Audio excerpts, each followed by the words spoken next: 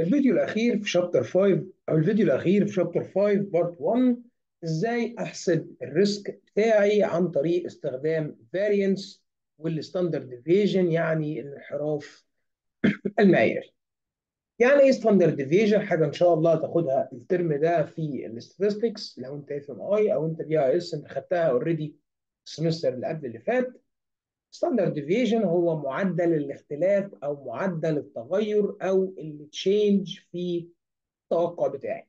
بكل بساطة ال standard deviation قاعدة آه إحصائية بستخدمها عشان أشوف معدل الاختلاف. يعني إيه معدل الاختلاف؟ معدل الاختلاف ما بين النتائج المتاحة والنتيجة المتوقعة. يعني standard deviation sigma R measure the dispersion يعني التشتت of an investment return. اختلاف إحنا متفقين من الفيديو الثاني إن ال risk بتاعي هو الاختلاف ما بين النتائج.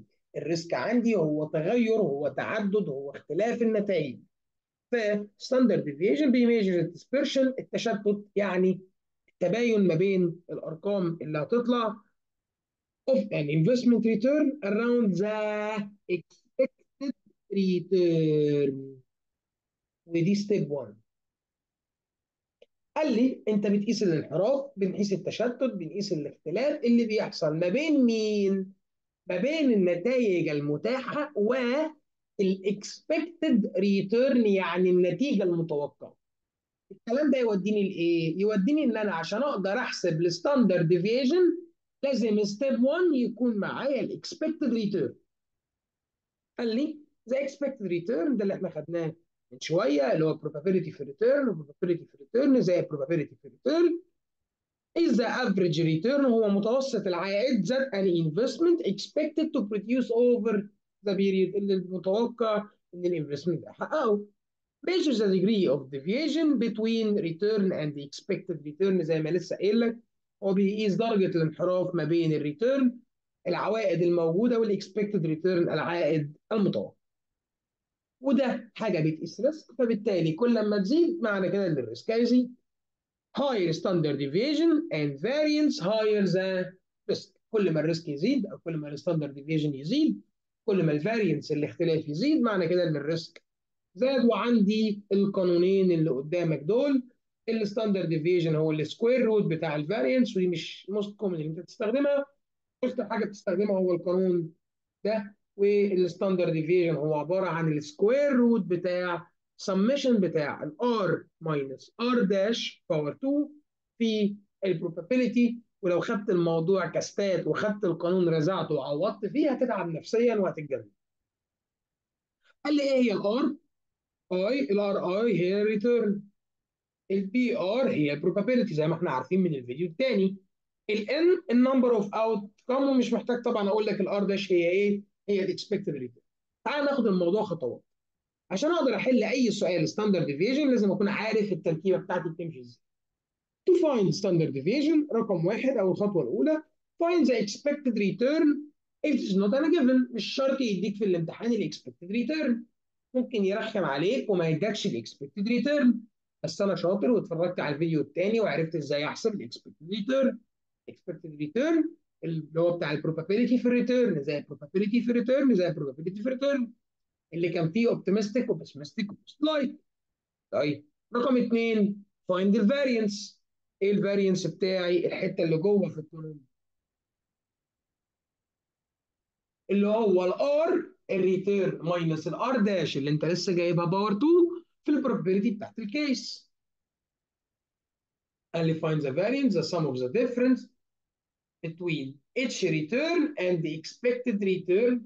اللي هو ال step 1 وهعمل الناتج power 2 وهضربه في الآخر في ال probability ثلاثة find the square root of step 3 يعني the square root بتاع ال variance عشان أقدر أجيب ال standard deviation or use القانون الكبير مره واحدة من غير وجع دماغ يبقى رقم واحد أجيب ال standard deviation أجيب ال expected return دي خطوه ثابته وبعد كده اخش اعوض في القانون الكبير مره واحدة تعالى ناخد example يفهمنا الموضوع أكتر وأكتر وأكتر.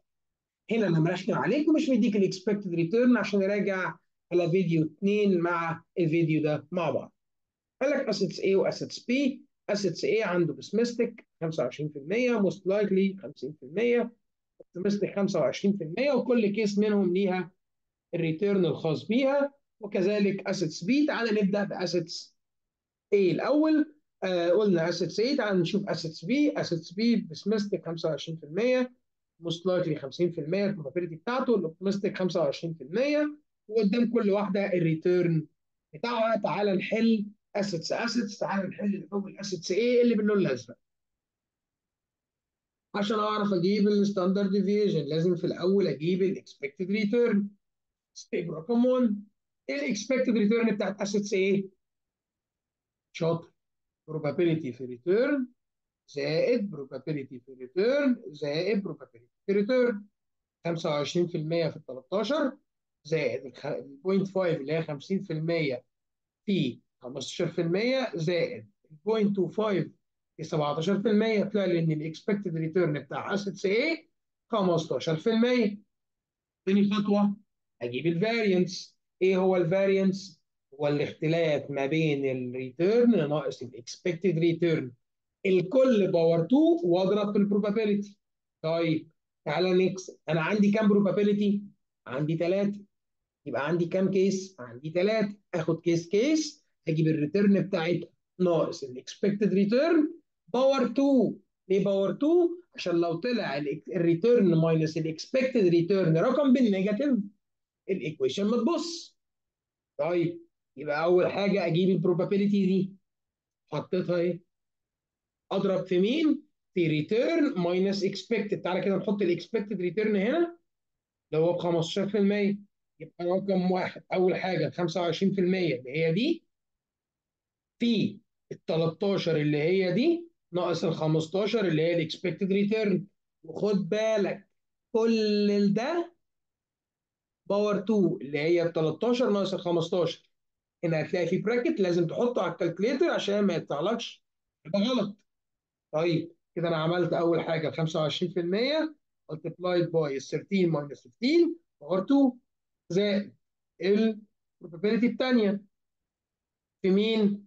في ال return minus ال expected ال return في ال probability الثانية 15% يبقى نص أو 0.5 في 15 ناقص 15 power 2 واقفل ال bracket لازم تكتب الشكل كده على ال calculator عشان يطلع معاك الإجابة صح. زائد المشروع ال pessimistic ال optimistic 25% probability. اضربها في مين؟ في ال return minus expected return 17 ناقص 15 الكل power 2 اوعى تنسى. أنهي كل؟ اللي هو ال 17 ناقص 15 الحتة دي بس اللي power 2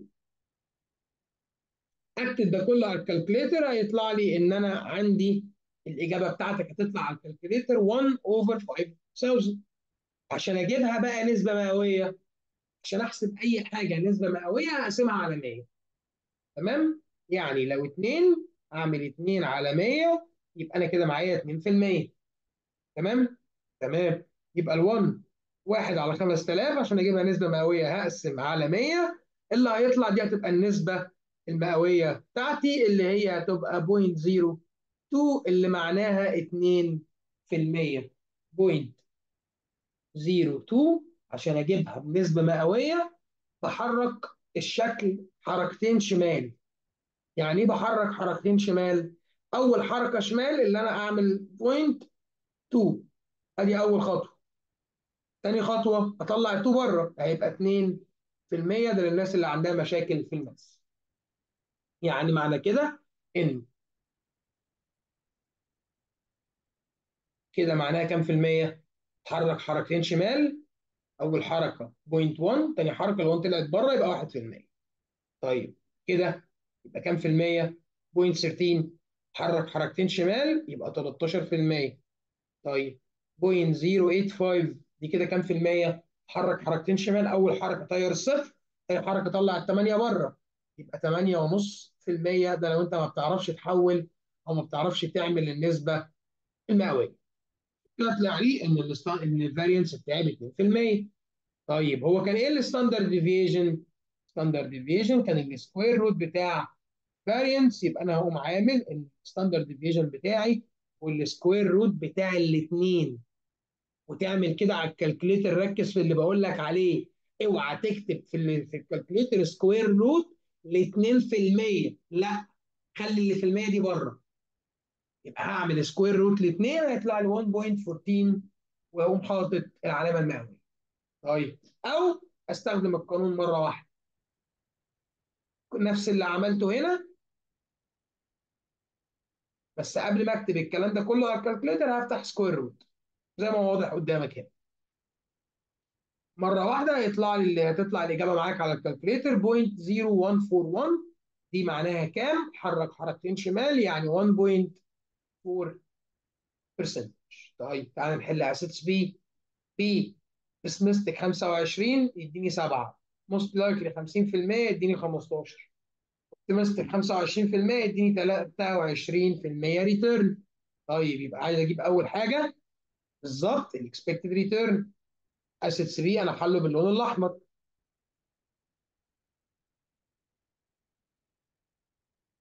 أول حاجة أجيب ال expected return probability في return زائد probability في return زائد probability في return equal 25 في 7% زائد النص في 15% زائد ال 25 في 23% اداني برضو 15% يعني المشروعين عندهم نفس ال expected return طيب ال variance نفس القصة probability في return minus expected return power 2 probability الأولانية 25% 25% في ال return الأولاني 7% يبقى 7 ناقص 15 الكل power 2 زائد 5 في نص point 5 أفتح bracket 15 ناقص 15 power 2 زائد point 25 في 23 ناقص 15 الكل power 2 ال calculator هتديك الإجابة 2 على 625 عشان أجيب نسبة مئوية أضرب في 100 هيطلع لي 0.32 0.32 دي معناها إيه؟ 0.32 معناها 32%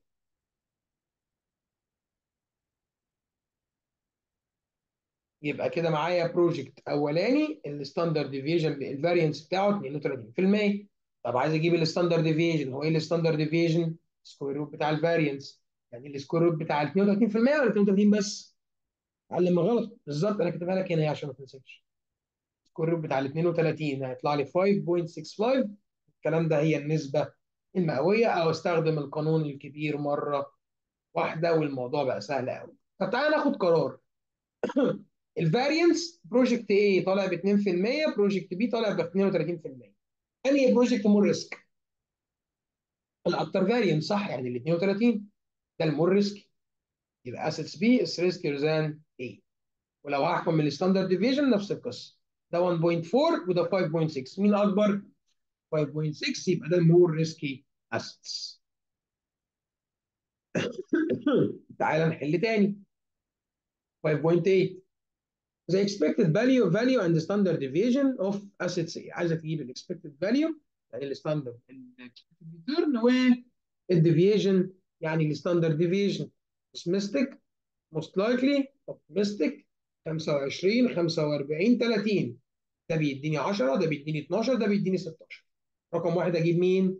أجيب ال expected return ده سؤال exam midterm 2019 هعمل إيه؟ أجيب ال expected return هجيبه إزاي؟ probability في return زائد probability في return زائد probability في return يعني 25 في 10 زائد 45 في 12% زائد 3 في 16 هيديني 0.127 عشان أعملها نسبة مئوية حرك ال point 2 شمال حرك ال point حرك الأرقام خطوتين شمال.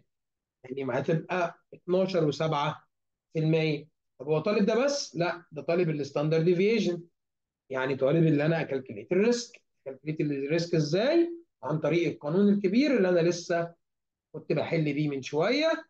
اقوم كاتب القانون بتاعي square root لثلاث حاجات. أول حاجة ال probability الأولانية في ال return الأولاني بتاع نفس ال probability ناقص ال standard ناقص ال expected return الكل power 2 زائد يعني ده كده جزء.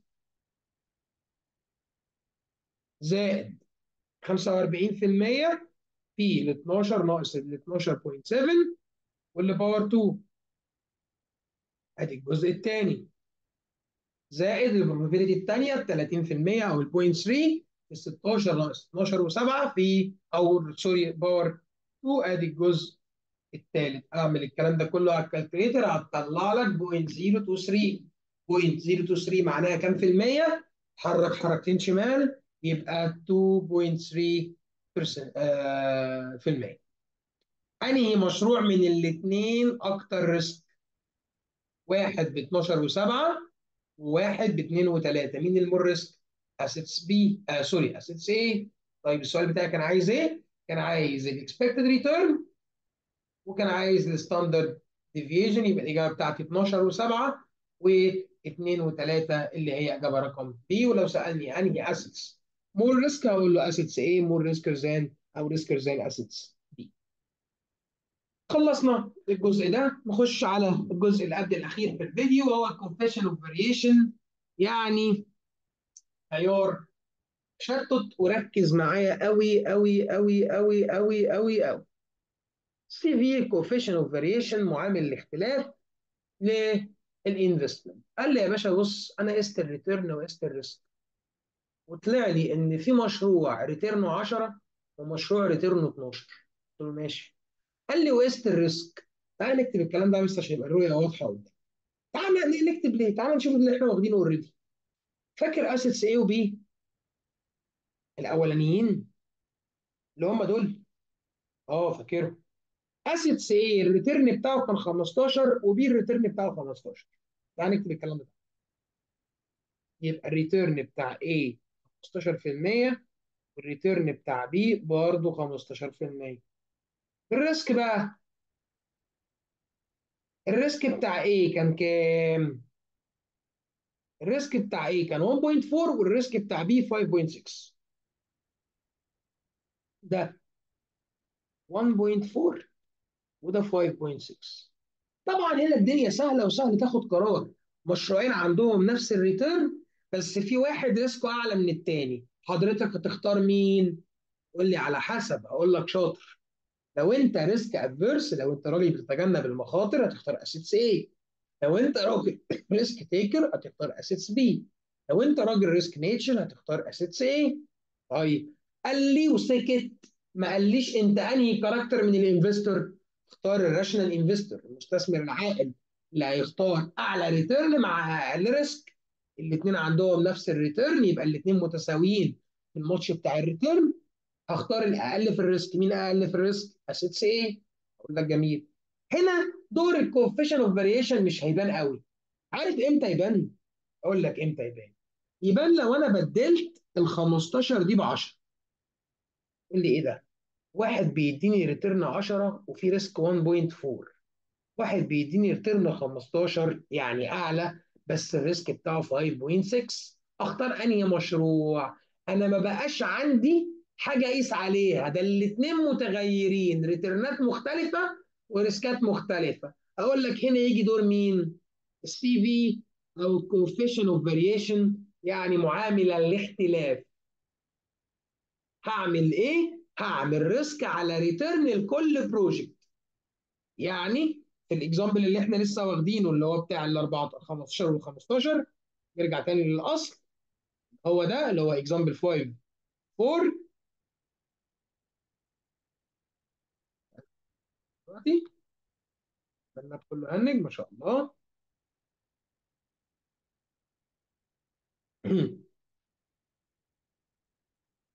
ماشي شكرا ليك. اللي هو كان example 5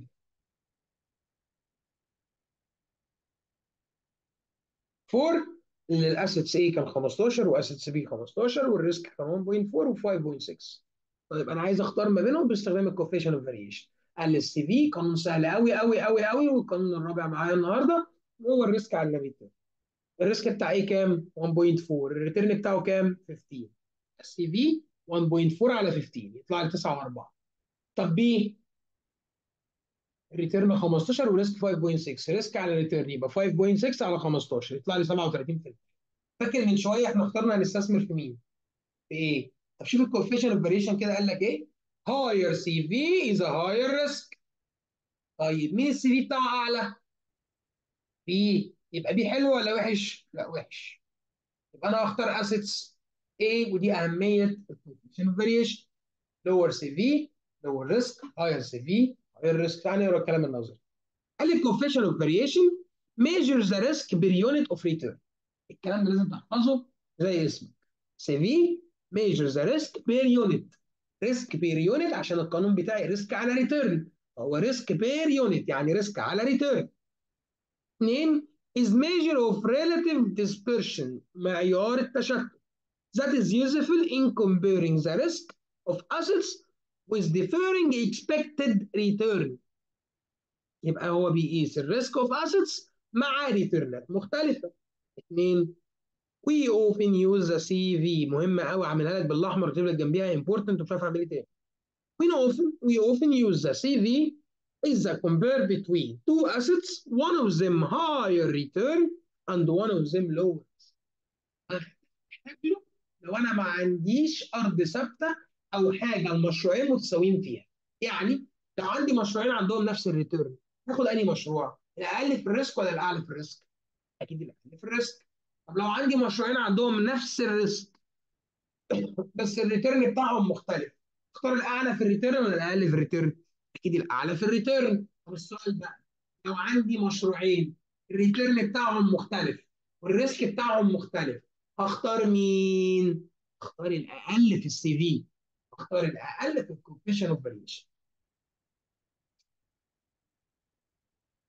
example 5 9 بتكلم برضو فيه عن ال CV وبجمع فيه كل الحاجات اللي خدتها في ال chapter لحد دلوقتي champion B must choose between two assets to purchase the annual rate of return and relative and related probability given below summarize the firm analysis assets A و assets B rate of return و probability rate of return و probability مش عايز احل السؤال ده معاك عشان انت المفروض فهمت خلاص عايزك تجيب expected return standard deviation coefficient of variation what assets should be selected اول حاجة الستاند الاكسبكتد ريتيرن probability of return زي probability of return زي probability of return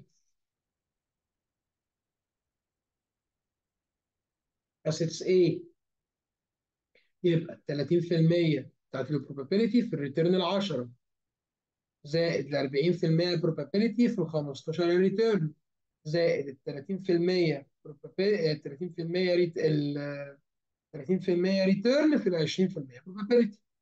يطلع لي على ال calculator 15% أو تطلع لك على ال calculator بالمنظر ده.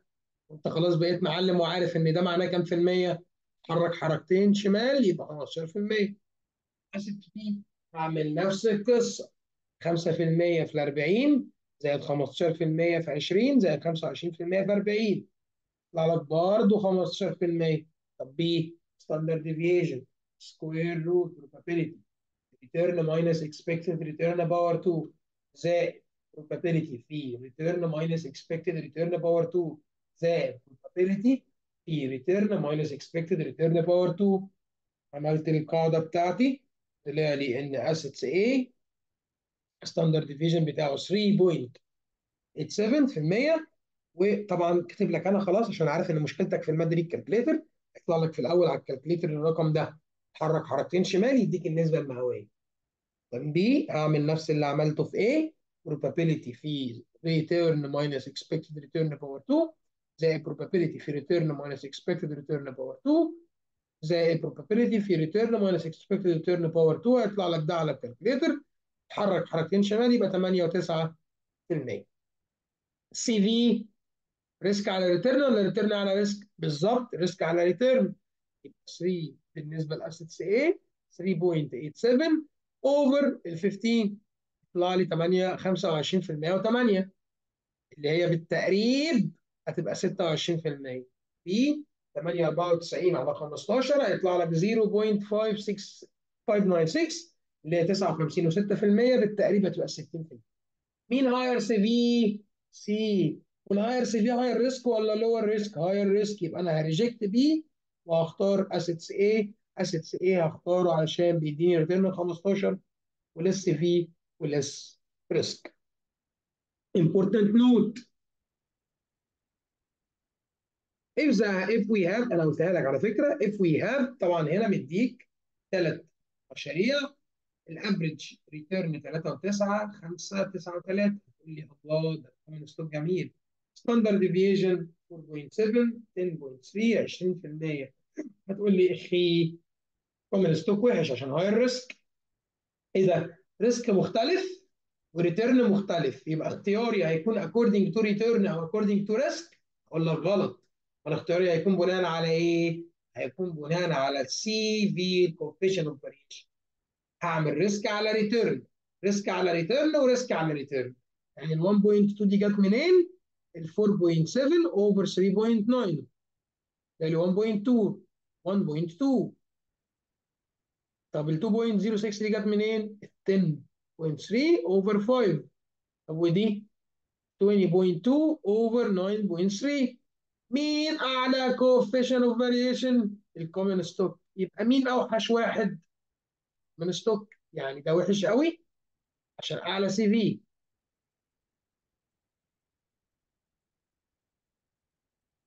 ده أقل واحد.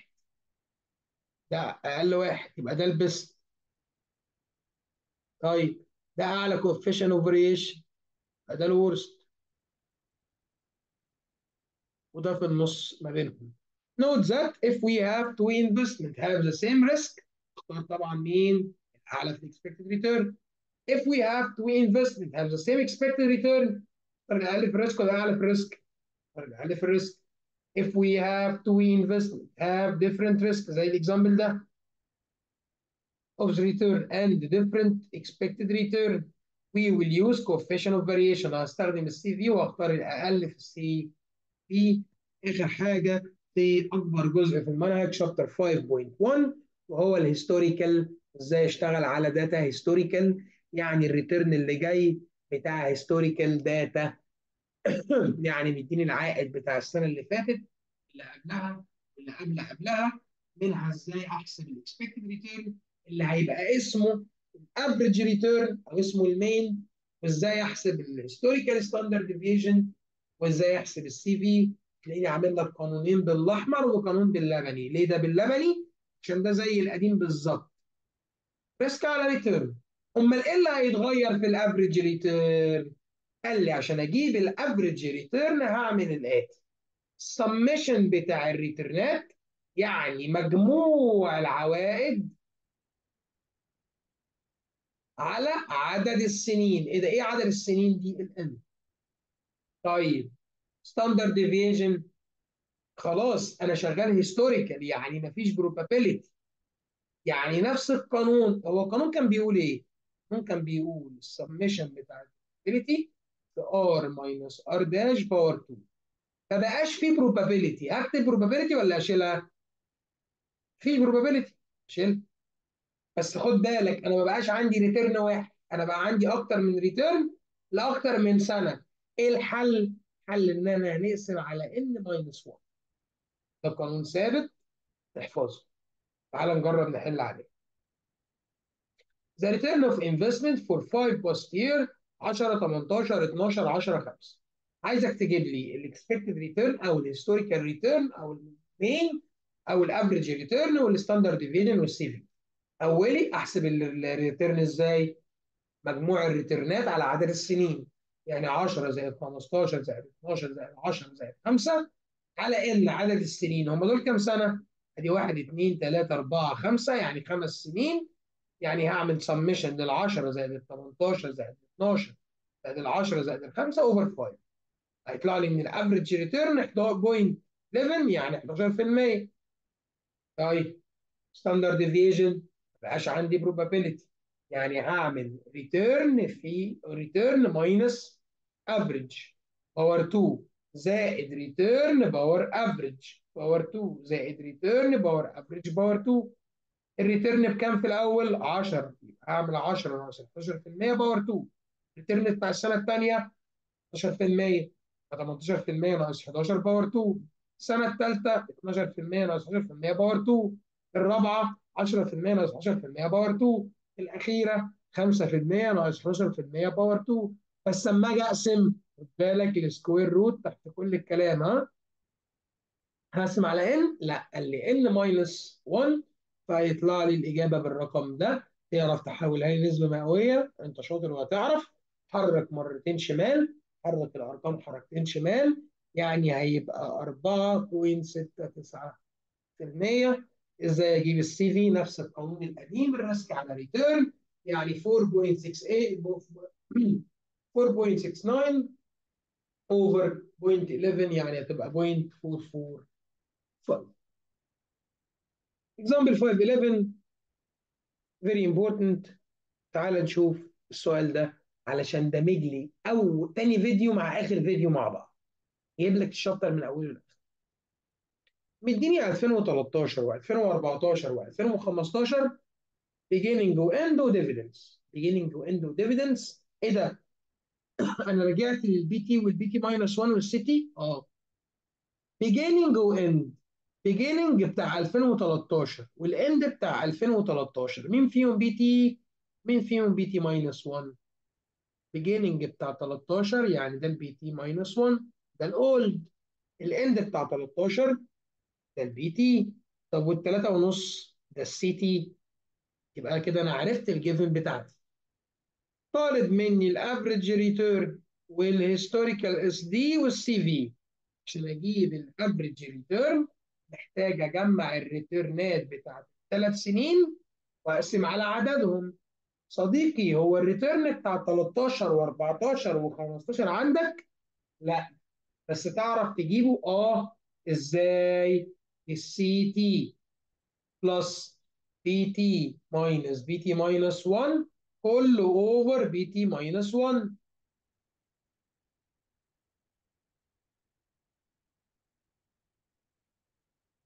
طب تعالى نعمله كده هنا 13 ال C point 5 اللي هي ال CT 36 ونص ناقص 35 ده اللي هو ال PT minus PT minus 1 over مين ال old ولا ال new beginning ولا ال end over ال beginning هيطلع لي 14 و3 كذلك في 14 و15 طلع لي الثلاث returnات أجيب ال average إزاي؟ هجمع الثلاث returnات وأقسم على عدد السنين يعني هيطلع لي 10 ونص بعد كده أجيب ال historical SD return minus ال average power 2 plus ادي ال return بتاع أول سنة ال 14 و3 ناقص ال average power 2 زائد ال return بتاع ثاني سنة ناقص ال average power 2 زائد ال return بتاع ثالث سنة اللي هو ال 13% ناقص ال average power 2 واوعى تنسى. أنا بقسم على n minus 1 بعد ما اقسم على n minus 1 هجيب square root للنتيجه اللي طلعت تطلع لي 5.6 أو على ال calculator تطلع لك بالمنظر ده. عشان أنت ما تتلخبطش. CV يعني risk على return شوية أسئلة بقى. true false و MCQ نبقى خلصنا جزء كبير جدا من اللي جاي في ال midterm يكاد يكون نص المنهج. Invested. Investment A. Guarantee its holder 1000 investment A بيدي الريتيرن 100 investment B earn 0 أو 200 في مشروع A بيكسبك 100 مشروع B هيكسبك صفر يا هيكسبك 200 with equal chance. Over the same period. Both investment have equal risk. السؤال ده صح ولا غلط؟ قول لي إيه ده؟ إيه العلاقة؟ أقول لك بص مش في واحد هيديك 100 ثابتة؟ آه. واحد هيديني صفر يا 200 آه. يعني في واحد عنده range آه project A ال range بتاعه zero هو بيديني 100 بس. فال range بتاعه يبقى ال best ناقص ال worst يعني 100 ناقص 100 يعني zero طب B 200 و100 يعني ال range بتاعي ال best 200 ناقص الصفر ال worst يعني ال range بتاعه 200 higher range higher risk يعني معنى كده اللي project B higher risk than A يعني عايز نجيب ال range فبالتالي في range فالاجابه بتاعتي هتبقى false عشان B هيبقى more risk than A The real utility المنفعة الحقيقية of coefficient of variation is comparing assets that have equal expected return ولو عندي مشروعين عندهم نفس ال expected return 15% واحد اعلى من الثاني في الريسك هحتاج السي في؟ لا أنا قلت لك إمتى بستخدم السي في؟ لو عندي two project have different risk and different expected rate of return ثلاثة One measure of the risk of an assets may be founded by subtracting worst outcome from the best outcome of the range. يجي MCQ برضه عادي. أربعة The larger the difference between assets worst outcome from its best outcome. كل ما ال large difference كل ما العدد أو الرقم يزيد ما بين ال worst وال best. The higher the risk آه كل ما ال range يزيد كل ما ال risk يزيد. خمسة The risk of an assets can be measured by its variance طبعا which is founded by subtracting the worst outcome the best هو ده تعريف الفاريانس؟ لا ده تعريف الرينج quotes ست coefficient of variation is measure of relevant dispersion using used in comparing the expected return of assets with different risk وده كان معناها لا كان معناها العكس. إن في مشاريع عندها different risk مع different return. و risk على ال return مش return على ال risk. يبقى إجابتي false سبعه the more certain الأكثر يقينا. The return of an asset the less variable and therefore the less risk. طبعا. أول فيديو خالص.